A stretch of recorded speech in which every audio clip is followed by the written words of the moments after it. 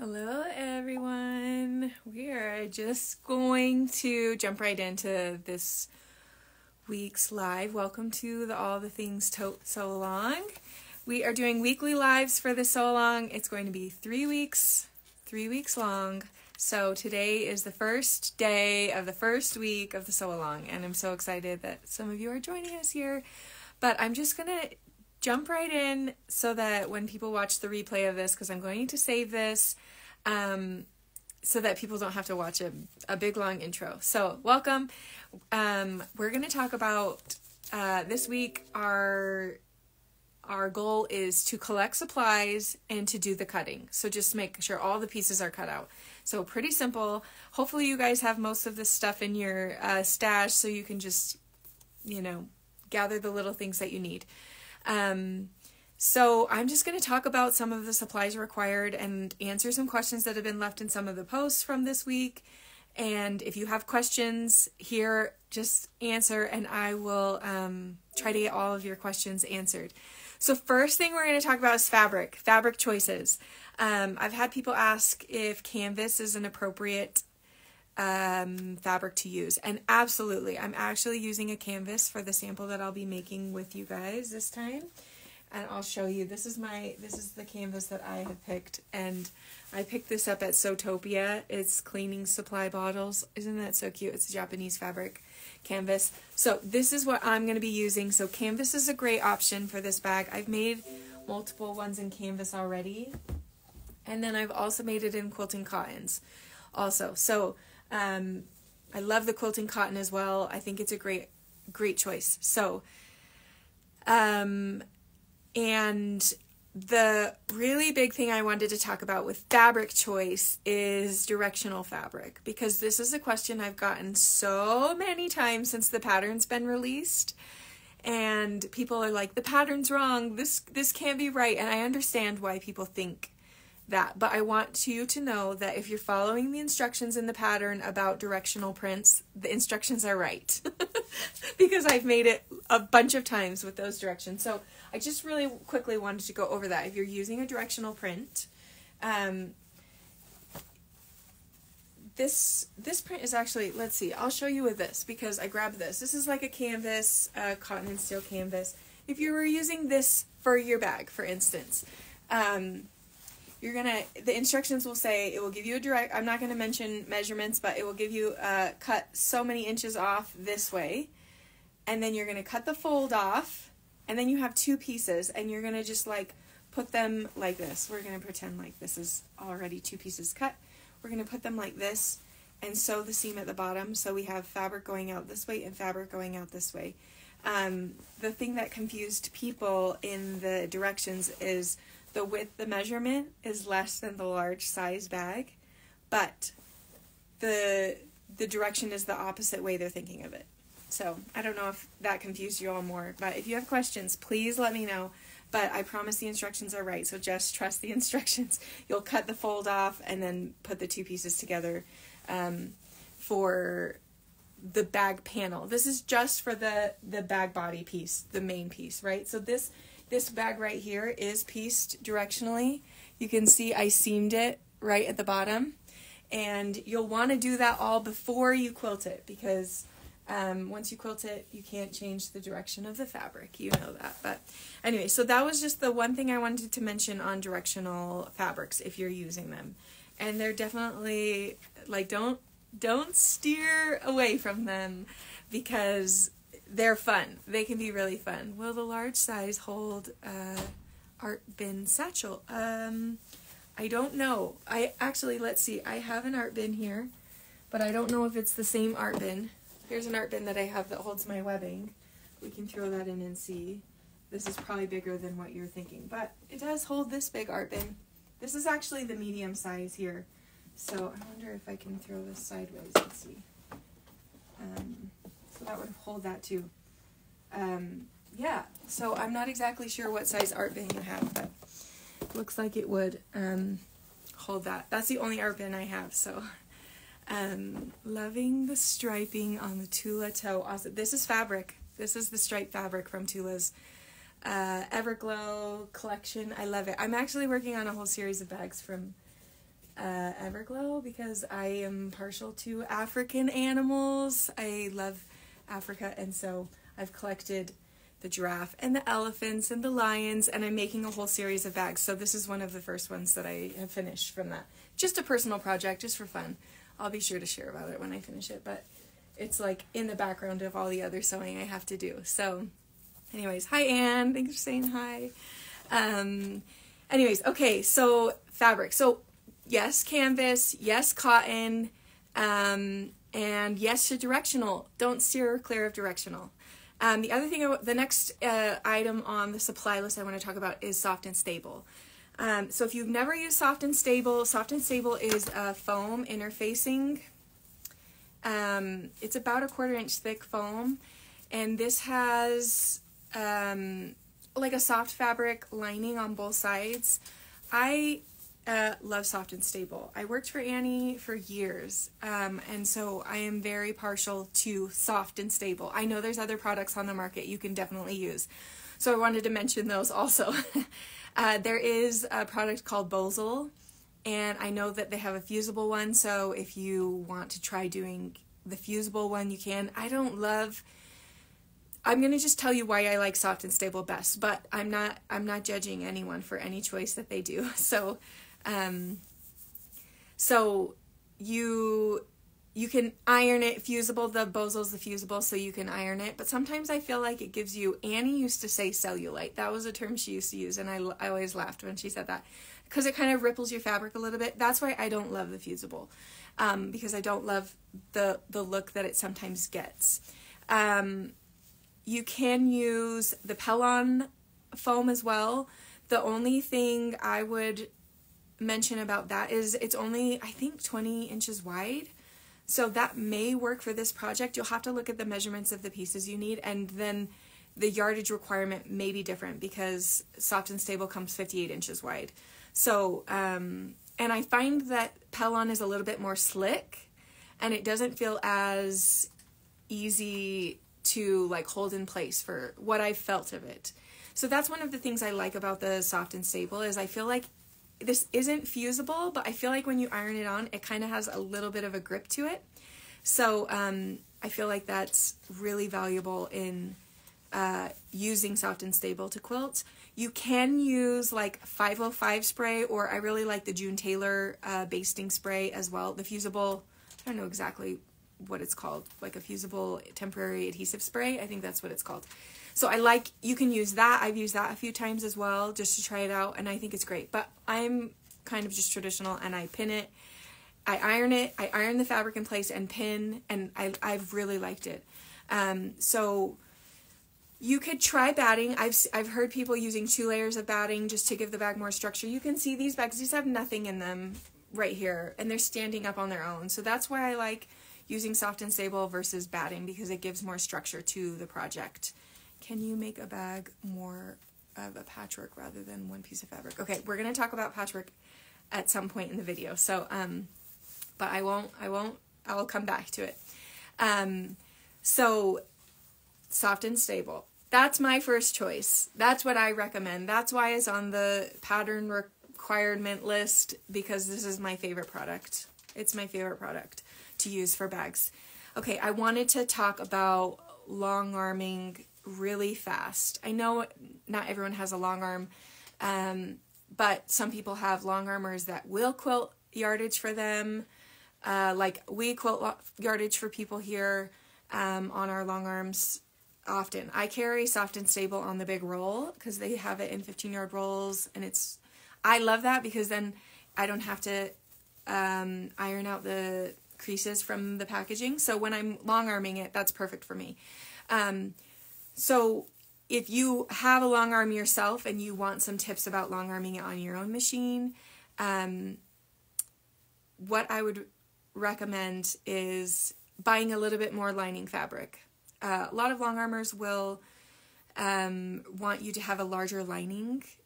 Like right when you send your quilt, your backing fabric has to be bigger than your um, your top, right? So it will go the same for loading fabric like if you're just loading fabric. So I would just say grab an extra quarter yard of your lining if you're to load it on your long arm. And then other than that, you can quilt it exactly the same. It's exactly the same to quilt as a quilt. So um, if you have any other specific questions about long arming soft and stable, please please ask. We use the 9014 needles, which is what I use on almost every quilt, or 96, I think I use 16 size. I can't remember. But if you want to know what size of needle we use, you can send me a DM or or ask in the comments and uh, we'll answer you back later. Um, so we use the same needle, same thread. I don't change any settings on my, my machine when I'm long arming. Um, this sew along, I'm going to be sewing mine with you guys on a domestic machine because I know not everybody has um, or a long arm in their basement. So um, we'll be quilting it on our domestic sewing machine. So if you're worried about quilting it, we're going to share all the quilting tips next week. Next week, we're going to cover quilting. So, um, but I just wanted to mention that for yardage requirement purposes, if you are going to um, put it on your long arm, just grab a little bit of extra lining, uh, lining fabric. Okay, and handles, the handle requirements. Okay, so we're going to talk about webbing. So I wrote this pattern so that if you are using if you want to, like I wrote it, so if you have fabric and you want to cover your handles, you can do that. You're going to just like make your tube and turn it inside out and then you pull in a polypro strapping. So this is polypro strapping. This is like a plasticky material. It's pretty slick. It pulls through the tube really easily. Um, and I love making my handles with fabric and it's probably just because I like adding lots of prints. Um, I feel like there's always lots more prints you want to showcase when you're making a bag. So it's a great um, option. So this this webbing right here, or fabric right here, this is fabric that I covered. And I love stripes handles. I think it's so cute. Um, so that's a great option. Um, I have this bag here. I grabbed all my all my all the things totes. So this is a webbing from my shop. That's just a cotton webbing um, that I use and it works great too. So this is a good time saver if you're like, I don't have as much time to make my own handles. Um, you can definitely use that. So I have uh, 32 colors in my shop of one and a half inch wide. Um, and then I also carry uh, this bold stripe webbing as well. And I think I have about 10 colors of this as well with different different combos of this one as well. So um, there's minor differences in how you construct the bag with a decorative webbing versus like a pre like a cotton webbing. Um, but the instructions have you covered on that, so you should be good. So that's what I just wanted to talk about the difference different options you can do for webbing when you're gathering your supplies for webbing. Um, so if you have questions on that, be sure to leave them in the comments, and we will um, we will go over that. Okay. The next decision you're going to have to make when you are buying supplies, actually this isn't decision that you have to really make while you're buying supplies, is the size of bag you're going to make. I guess when you're cutting, when you're cutting, you're going to have to make this decision. Okay, so I have all three sizes right here that I wanted to show. I'm hopeful that I can show these for you guys. Um, so this is the large, and I shared on stories this earlier this week. This measurement and this measurement are the same on all three sizes of bags. So that isn't something that will change. What changes between the sizes is this width here. It's just a few inches smaller and then a few inches smaller for the small one. So um, that is what you'll have to decide when you want to make these bags. And then the other difference between the sizes is that the smallest one doesn't have a stabilizer sleeve in it. Um, because it's just, it's smaller, so I, I figured you didn't need as much structure. If you wanted to figure out how to add one in, you totally could. I am trying to think. I use a small one. I have made one for my daughter and I have used it to carry her Toniebox. I don't know if people know what Toniebox is, and all of her little Tony and her headphones, so that if we're like going on a road trip, she can throw that stuff in this. It's a little bit big for that, but it could hold extra stuff too. I also use it as like um, a diaper bag sometimes when I'm like running out. I'll throw wipes, diapers, bibs, whatever, all of that stuff in it. So um, that's what I like the small size for. Um, it's a great like just like going out tote, right? It's not like giant. So um, someone just asked, is the bag washable with soft and stable? Absolutely. You can throw these directly in the washing machine. I've actually washed, I should have grabbed it. I've washed one of mine multiple times because I use it all the time for my kids. And um, it's completely washable. I usually don't dry it because I don't think it would hurt to dry it, but I just let it air dry. Um, but you can iron right on the soft and stable. You can steam right on the soft and stable, which is what I do when you get a package of soft and stable. It has all those creases. I forgot to mention this earlier.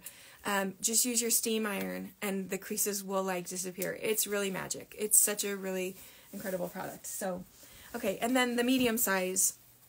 So I'll just show you like the difference, right? This is just um, a couple inches. I don't even know if you can see. Oh, good. I think you can see. A couple inches difference in size from this size to the medium and then to the large. So I have to say that my most made size is the large. I like the large. It's um but I have mostly used these for uh sewing outings. Like if I have a sewing day with friends, I just pack up everything in it. So um I love that. I love that I can just pack up everything in it and I carry multiple multiple of them. I put my project bags in there and uh, my sewing projects and I just load them up and I take them with me. So I like the large. Um, I also like the medium as well. I, I think the medium and large are my favorite sizes. Um, but the large just holds that much extra. Um, I can fit like my um, small, I don't know if I have it handy, a small like cutting mat I can fit in the large. Um, and then the, like some of my rulers, like my 18 inch ruler I can fit in there. So I like it for that reason as well. Um, okay, so the the medium and large bags have a stabilizer sleeve in them. So that's the last uh, item I wanted to talk about for gathering supplies. If you are doing a large or a medium, you might want to grab a stabilizer sleeve. I have these in my shop as well. I know people have done lots of other things other than this. Someone had shared that they used like an old cutting uh, cutting mat, a cutting board, cutting board or um, you could use something like uh, mat board, things like that. You can try other things. I really like the acrylic base, and these ones are exactly the size you need, and the corners are rounded on them. I don't know if you can see that, which is nice because then they just go in and they don't catch anything. But um, these are by Annie's base stabilizers, and the size is the seven and three quarters and fourteen and by the fourteen quarters. This is actually because she sells these in multiple sizes for different bags. I was just pleasantly happy when the size worked really great for um, the All the Things tote. Um, so this is the only one I carry on my website, so you can grab those there if you want. Um, but the stabilizer sleeve is sewn directly onto the bottom of the bag, and then you'll turn it inside out to add the not really completely inside out, but that's how you add the stabilizer sleeve in there, right? So, um, anyway, so I think, especially for the large and medium, you'll want to have some structured thing in the bottom of the of the bag. So, I think grab these if you're doing those sizes. Um, and any is there? I know that there's here. I'm gonna. I'm trying to think. I have one more thing I want to talk about, but there's been questions that I know I've missed. I'm going to talk about my last thing and then I'm going to go through and answer all the questions at the end. Okay, so the last thing I wanted to share about is patchwork. If you want to do patchwork, I've probably had five or six emails this week of people saying, "I want to do um, patchwork. Uh, what what size square do I need?" And I've never made one patchwork, so I don't know. And I have I have quickly done a little bit of math, and I don't think the patchwork works out exactly perfectly for the dimensions of the bag, what the bag is already. Um, and so I kind of am just going to wing it this time, but I have had I have had this product in my house for a few years um, and wanted to try it. It's the 10 Sisters Easy Piecing Grid. And there's multiple sizes that you can get in this. I got, I think this might be the largest size. I'm not exactly sure if there's a size bigger. But these are for two and a half inch cut squares. Um, and you just iron them onto this and then you like I'm going to share this week. I'm going to share this week about about how this product is used, but this is what I'm going to try. And one of the reasons why I'm excited to try this for patchwork is because I think having an extra layer of interfacing on the fabric and then quilting it to either batting or soft and stable will give some really good structure to the bag because it's just extra, it's extra, like extra layer, right?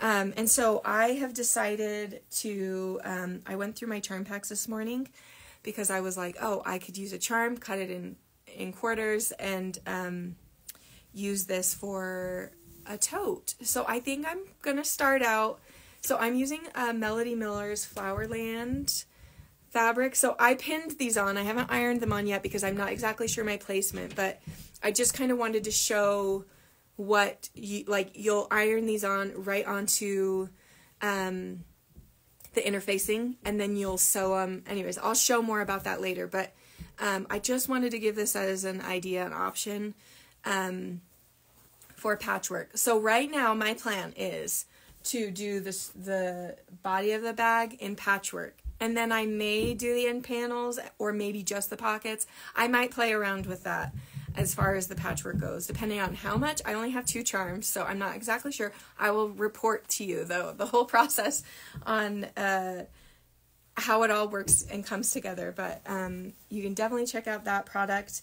Um, I was chatting with Carmen, who is the one who developed this product, she actually dropped this off to me yesterday, which was so generous of her because I had one and a half inch and I wanted two and a half, and she was like, I will swing some by for you. So um, she was telling me on her website she has a store locator, so you can see if any of your local shops um, have carry it. And I have been debating on whether to put it in my shop as well. So if you're interested in getting this, let me know and we can just like carry it in the shop because I think it would be fun for some patchwork bags. Um, okay, that is all I have to share today. So if you have questions, please let me know. I'm going to pull my phone down real quick and go through um, all the questions, see if I missed anything, um, because I want to make sure I get everybody's questions answered. So be sure to leave your questions if you have them before we hop off. Uh, this will be saved so you can watch the replay will okay i got that one. Love the stripe webbing on the tula fabric. Okay everybody is loving this tula fabric. So this is again the new neon everglow striped fabric that i made into handles. What do you do if you already had one yard pieces quilted professionally before cutting? That's great. Just cut out your pieces. Um, if you're referring to if it's a directional print um, i have i have done that where you can just cut two pieces out of the, the, the two half pieces and then I butt them together and I have zigzagged them together and I just made a fabric facing over it. So if you happen to have forgot to um, piece your directional fabric before you had it long armed, you can do that method. And what I did as well is on the bottom, I just added an extra layer of this, um, where did my webbing go? My handle webbing?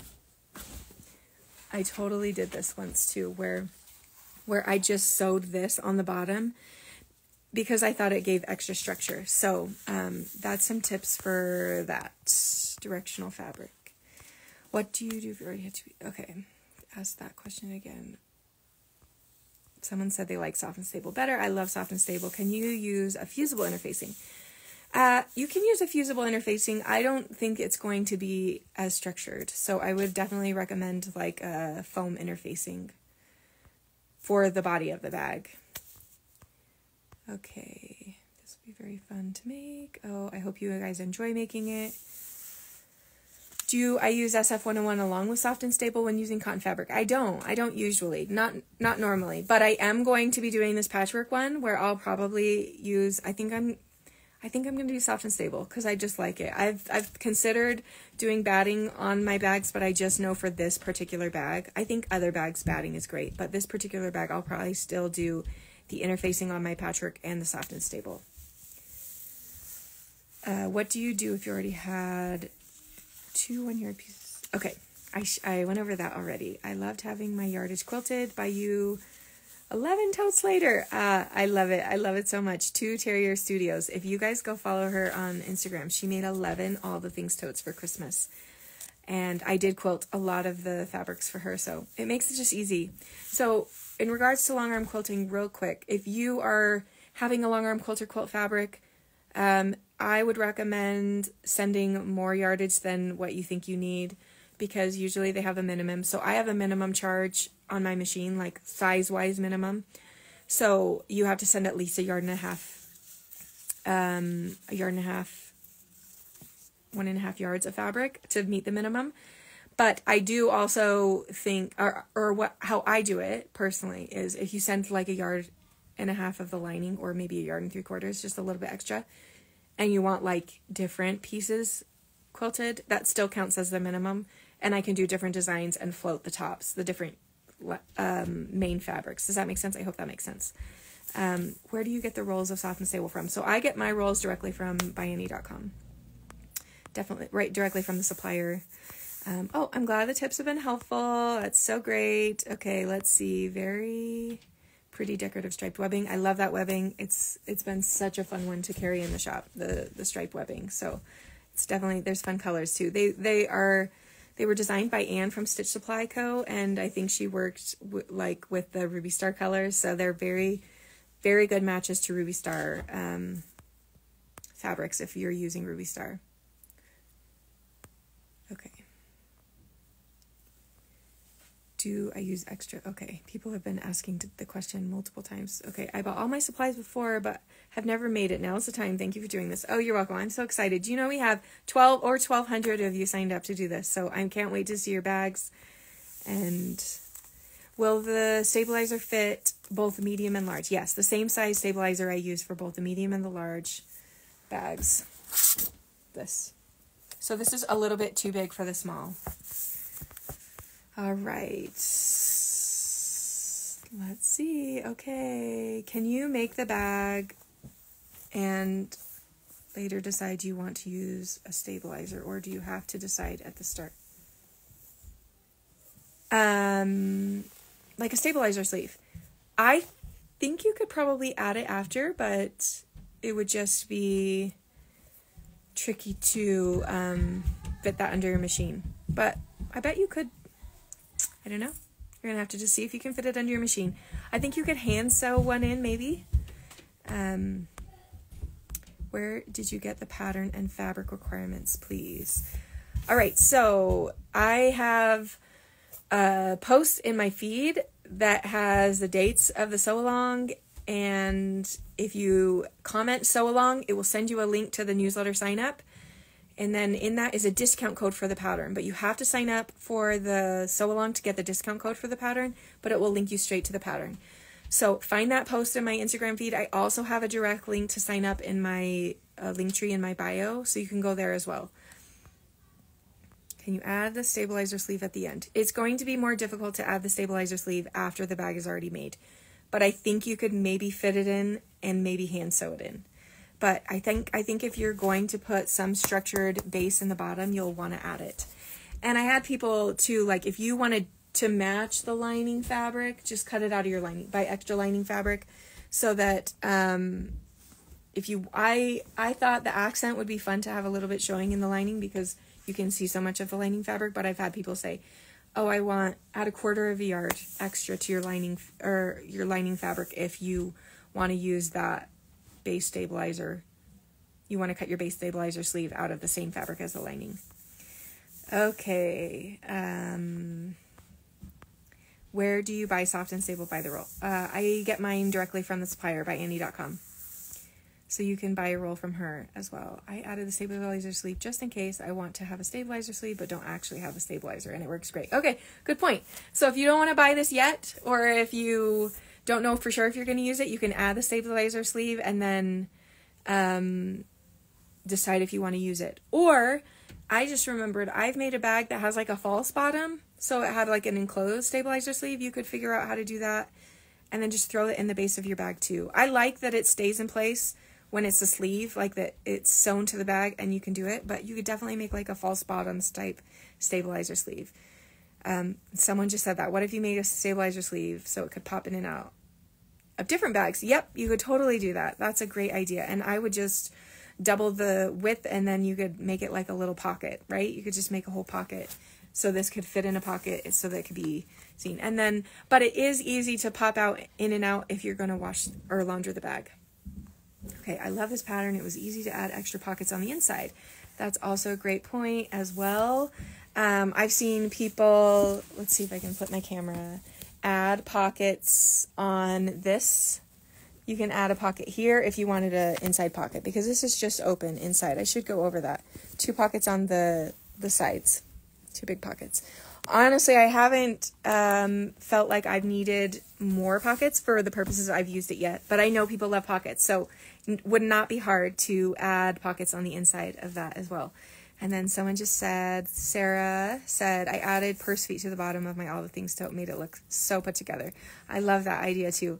Um, I had somebody email me this week asking if they could use leather handles and use the brads, and I think that that would be like a really sophisticated way to to like add detail to your bag as well. I've never done that. I have I have the brads and I have some leather, um, but I've never done it. So I'll have to try that one of these times. Um, also, another thing, I don't even have a bag here that has a label, but the labels have been like one of my favorite things in the last year to add to my projects. I'm trying to think if I have any labels anywhere that I could show you, but I don't think I do. But um, I have lots and lots of labels in my shop. Uh, I just started carrying Sarah Hart's labels and Kylie and the Machine labels, and then I have a few that um, I worked with a designer to design to carry in my shop too, the Made with Love ones. So, all right, I finally ex- I'm excited to finally make this bag. I received this pattern in the Stitch Supply 2022 Advent Calendar. It was that was when the pattern launched. Was in the Stitch Supply Advent Calendar. It was so fun to be a part of that project. So, um, yeah, I hope that everyone that got it will be able to use it for that as well. Okay, I think that's it. So we went about 30 minutes. I think that's um, a long enough video. So I'm to uh, log off, but I'm so happy to have you all sewing along and uh, leave questions after I post this. Leave questions and hopefully we can um, get all your questions answered. The email is going to go out directly following this because I'm going to link this in the email. And that's the format following um, the, the next few lives so that you can have the link directly to rewatch it. Uh, do you do sew alongs for other bags? Uh, I have plans. I hope to do more sew alongs for other patterns that I've not done sew alongs for of my patterns this year. So we'll see the bandwidth that we can um, manage this year. I hope so. I hope so. I'd love to do some of the other patterns that I have that we've never done so long. So, anyways, have a wonderful weekend, everybody, and I will uh, catch you later.